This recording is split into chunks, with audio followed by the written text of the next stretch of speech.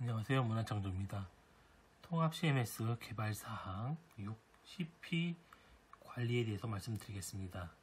CP란 contents provider, 컨텐츠 제공하는 업체의 리스트 및 관리, CP, CP사별 별도 페이지 및 관리 권한, 제공 상품 현황, 통계, 정산, 제휴 등이 요구됩니다. 라고 하는데, 실제 필드에서는 그러니까 부- 이 부분이 가장 나중에 개발되기 때문에 가장 문제가 생기는 경우가 많습니다.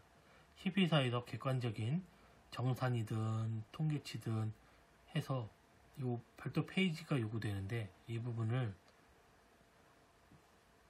가장 나중에 만들기 때문에 문제가 꼭 됩니다. 그래서 이 부분을 꼭 짚고 넘어가야 됩니다. 그렇지 않으면 여러 가지 영업적인 부분 또 비즈니스적인 부분들이 많이 애로사항이 많이 되게 됩니다. 이 부분엔 계약 부분도 들어가야 되겠죠.